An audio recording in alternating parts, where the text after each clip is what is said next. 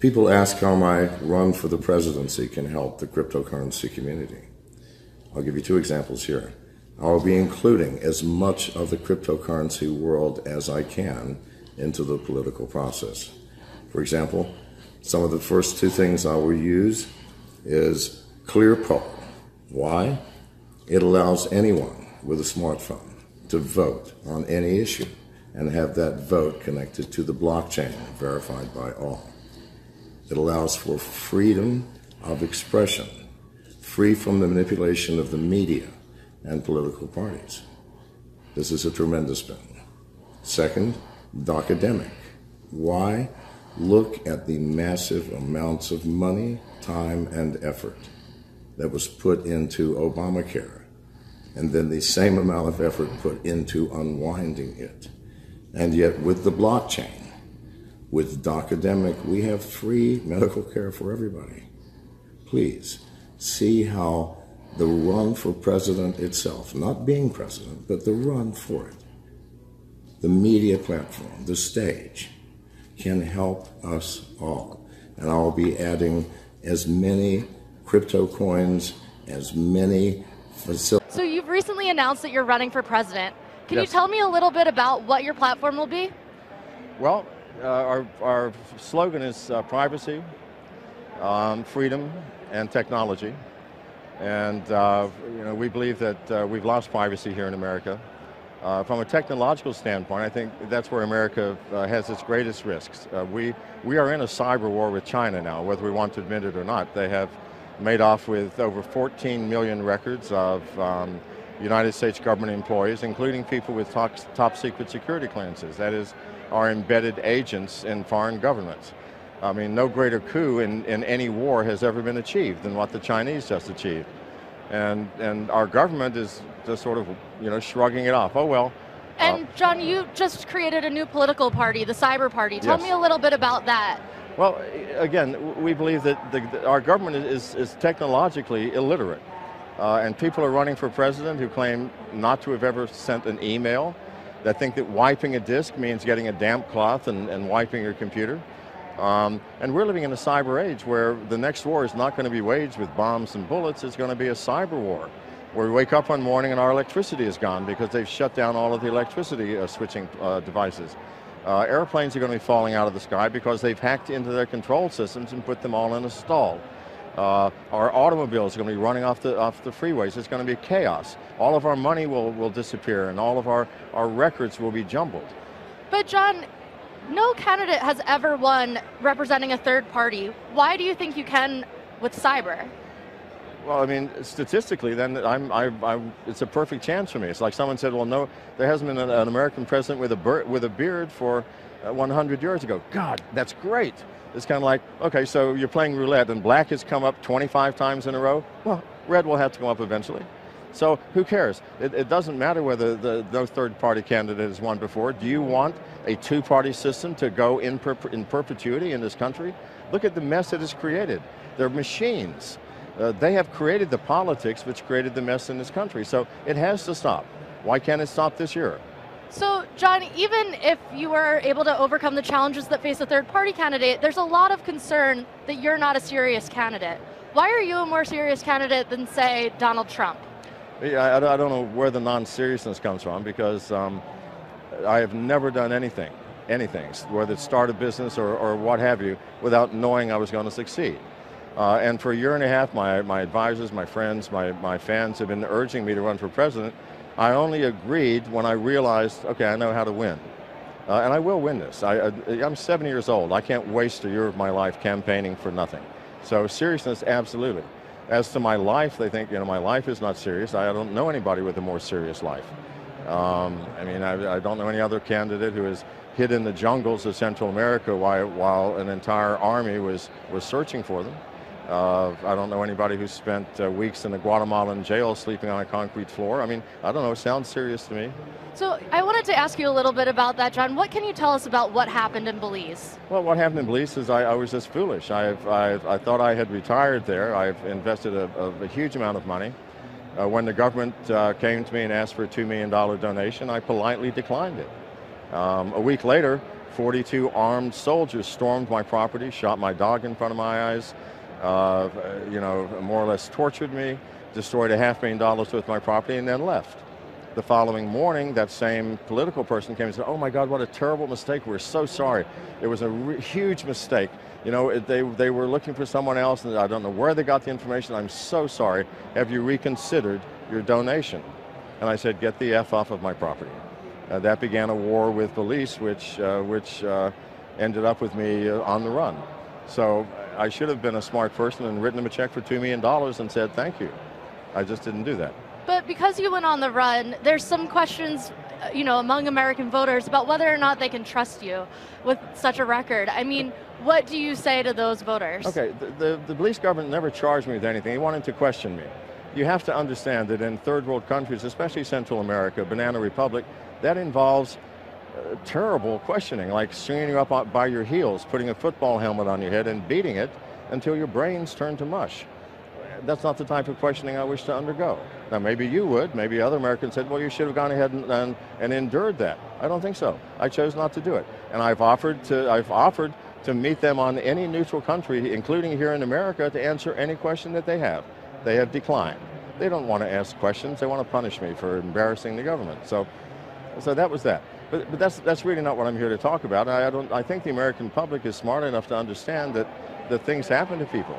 You know, if you go out and you're outside the box and you, you explore and you're trying to find out what life is all about, you're going to step in holes and you're going to find bees nests. What about more recently with the DUI that occurred in August? Uh, again, it was a DUI. I had, I had just uh, uh obtained a subscription, a subscription uh, um, uh, for uh, Xanax, a prescription.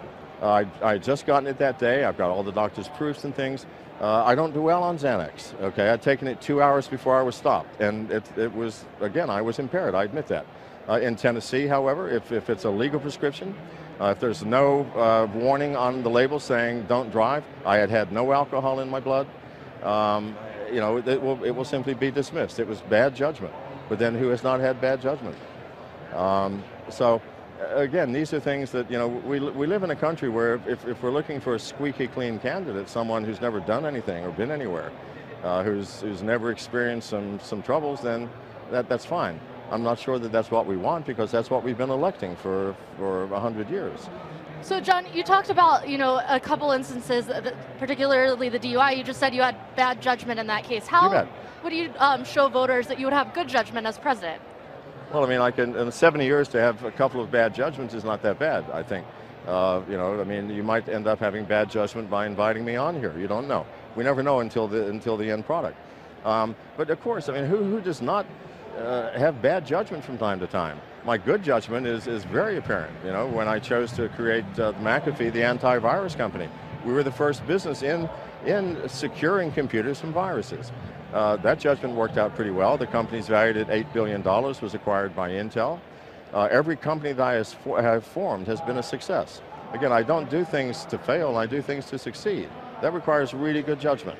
And so, John, I wanted to ask you a little bit about your electronic campaign. Yes. Uh, so I know you've been walking around Startup Alley today. What kind of companies have you met, and which well, have stuck out, out to you? I'd like to talk about a couple of them. One is called uh, Fire Talk, which um, which we're we just cut a deal. We we're we're going into partnership where I'm going to be using Fire Talk uh, for my fireside chats because once a week I'll be going on uh, on the air on the internet with the American public, and I'll be talking. I'm going to throw out crazy ideas. I mean, and maybe they're not so crazy. Like, um, what if we disbanded the TSA? That might be the first thing I'll throw out there. And then people write back and go, well, that's crazy because who's going to secure us and so on. And we'll talk it through. We can do that because we have software that will parse all of the incoming communication. Parsing means taking it apart and finding out what are they really saying here. And you might find out that 10,000 people have asked the same question but in different ways. Well then our software will go, ah, this is what they're really asking. And I will answer that question. And then they'll throw out another and I'll answer these questions. So we will work through jointly, the entire American public and me, our platform and how we will solve these issues. So nobody can do that. I mean, no one has done that. Uh, I have the technical competence to slap that together in very short order. It's not that complex for me. I can do it in my sleep. The other candidates do not have that capacity. Well, thank uh, you I so made that statement to, to um, bring to the attention that the FBI does not really want to crack one phone.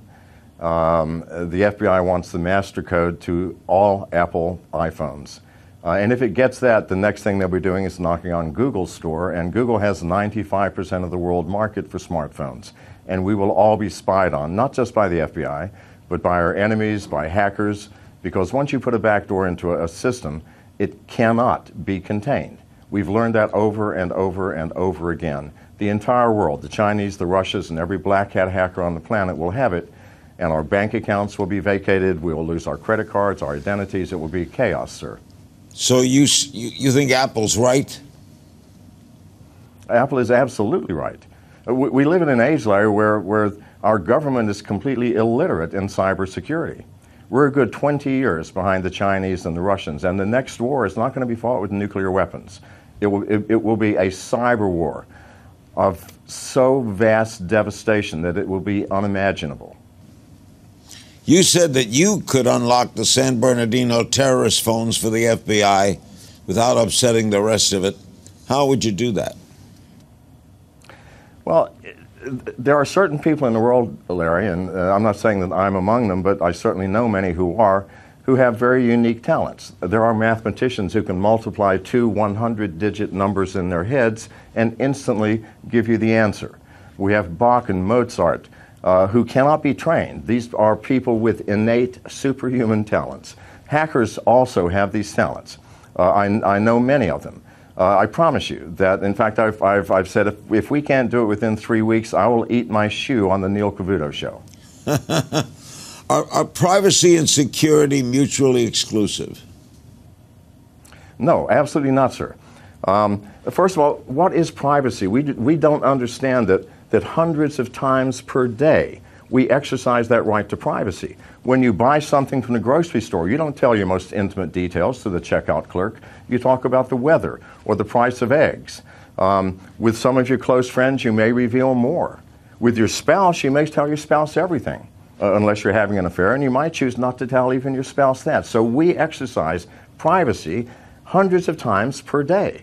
And without that right, our society would absolutely cave in. Can you imagine what would happen if everyone knew everything about everybody else? We're very judgmental people. We are imperfect creatures. We, we have to have privacy in order to keep the glue of society together. Trump called for a war against Apple. What'd you think of that? Well, Trump has called for war against everything. I mean, Trump wants to build a wall between our nation and the nation of the finest tunnel builders on the planet. Think about this.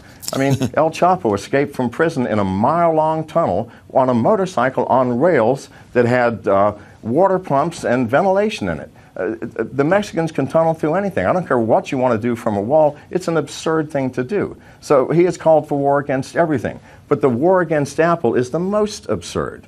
Because really, it shows that he does not understand, to any degree, what cybersecurity is and what the effects of putting backdoors into software can be.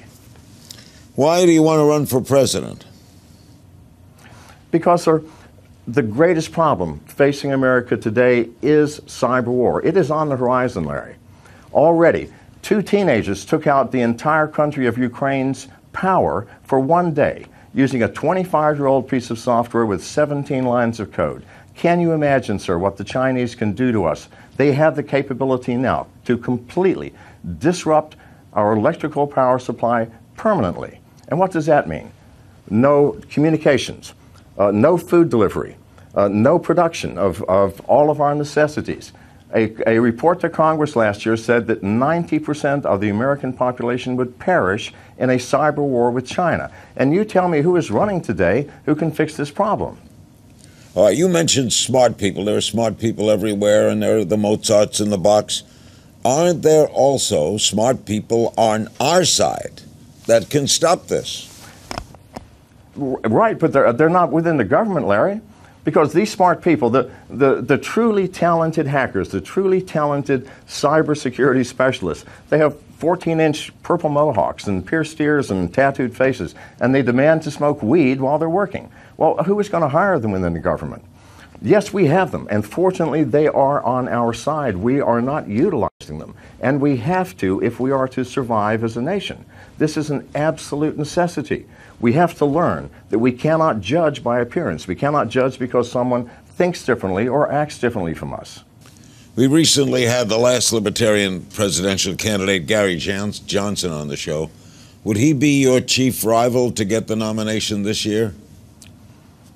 Well, I, you know, I, I, just debated Gary Johnson two days ago. He's a very nice gentleman, uh, a, very nice gentleman. Uh, twice he's run and gotten less than 1% of the vote. We have to have someone who can win, Larry. We really do. Um, you know, I'm seven years old. I am not doing this in order to make a statement or to change somebody's opinion. I don't have that luxury. Uh, I'm not wasting a year of my life making a statement. I'm doing this to win. And, and one of the things I've learned, Larry, is that the human spirit is indomitable and infinite in its capacities if you know yourself. And if you have the talents and put those talents to the, to the direct use. Uh, I intend to win this. I really do. And you may say, well, that's absurd. Well, you want to know what's absurd? Watch the Republican debates. They're making fun of each other's putting on makeup, for heaven's sake. We have a country filled with problems that deserve a compassionate look and an intelligent analysis, and I do not see this. Everybody agrees with half of liberals like half of libertarianism, conservatives like half of libertarianism. What is libertarianism? Can you can you nutshell it for me? Yes, sir. Uh, libertarianism is a very simple philosophy that's based upon personal freedom and personal privacy. Uh, the basic tenets are keep your contracts, well, or, or, keep your agreements. There is no other way to live. I've found that out. Uh, that personal freedom and personal fri- privacy are paramount. And I found that out, but I've been incarcerated a number of times. I am a civil disobedience person, uh, and I fully believe that we own our own bodies and we may do with them as we choose. And because I have acted that way, I've been incarcerated many times. Well, there was one exception when I was incarcerated for stupidity. But other than that, it's civil disobedience because I believe we get to do with our bodies as we choose. The, the libertarians believe that our government is too overburdened and, and inefficient. Uh, it believes that, that we have problems here at home that must be addressed. Uh, there are very simple principles which really all Americans believe in, Larry. All Americans. It doesn't. We favor... cannot harm another person, and we cannot harm another person, nor can we take the things that they own. We all believe this. This is, yeah. These are the fundamental tenets of libertarianism. It doesn't favor vast armies abroad, right? I'm sorry? It doesn't favor vast military elsewhere. No, it, it doesn't. Larry, we, we have problems here at home. We really do. So, how um, would libertarians. Military, how would libertarians approach ISIS? Well, who created ISIS, Larry? Isn't this the fundamental question? I mean, we keep bombing people. If, if you were living in the Middle East and a bomb destroyed your neighbors next door and your friends and killed your brother and your father and possibly your mother, and you could do nothing, you are, you are completely helpless against these invisible things that were being controlled by people halfway around the world. You would be angry. You would be frustrated. You would want to strike out. And so they do. Or we just strike back at them. We created terrorism, Larry, by interfering in the affairs of nations that we had absolutely no business interfering in. And we did it for purely economic reasons. We have to take at least a small part of that responsibility. We do, sir. And, and the, the, the problem with ISIS shows a complete failure in our national defense. It does, because we are putting so much money into military hardware and nothing into cybersecurity and cyber awareness, which could have told us easily what was happening before it actually happened. So, this is the problem, Larry. We have to fix it by, by, by coming home and fixing ourselves.